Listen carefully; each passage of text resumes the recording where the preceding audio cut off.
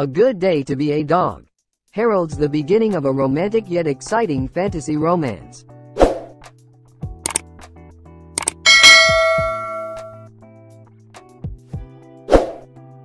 MBC's new Wednesday drama, A Good Day to be a Dog, which is scheduled to air for the first time at 9 p.m. on October 11, gives a glimpse of the lovely atmosphere at a glance.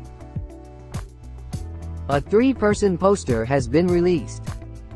The three-person poster released on the 19th showed Cha Eun-woo as Jin Seo-won, Park Gyu-young as Han Hae-na, and Lee Hyun-woo as Lee Bo-gyeom gathered in one place.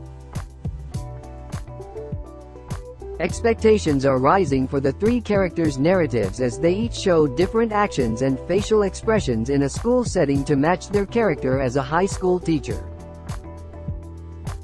Cha Eun-woo, a math teacher who is afraid of dogs due to a childhood trauma, stares into the distance with a bright smile on his face. While Park Gyu-young, a Korean language teacher who is cursed to turn into a dog when kissed, looks at him with his hand on his chin as if asking him to look at him. It attracts attention as you look at it.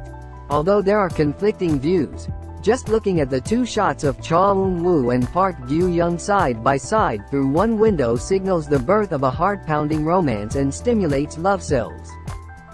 Meanwhile, Lee Hyun-woo's admiring eyes, leaning his face and arms against the window and staring straight ahead, are meaningful. As a teacher of Korean history and a mountain god with a sword hidden behind a smile, he is igniting the imagination of prospective viewers as to what secrets he is hiding. In addition, the cherry blossom trees and the clear sky with fluttering cherry blossom petals in the poster blend harmoniously with the background, creating a lovely and refreshing atmosphere. The heart-throbbing chemistry between actors Cha Eun-woo, Park Gyu-young, and Lee Hyun-woo in the poster, which seems to be a literal translation of the characters from the Naver webtoon of the same name, also targets the tastes of viewers and makes expectations for the actual broadcast soar.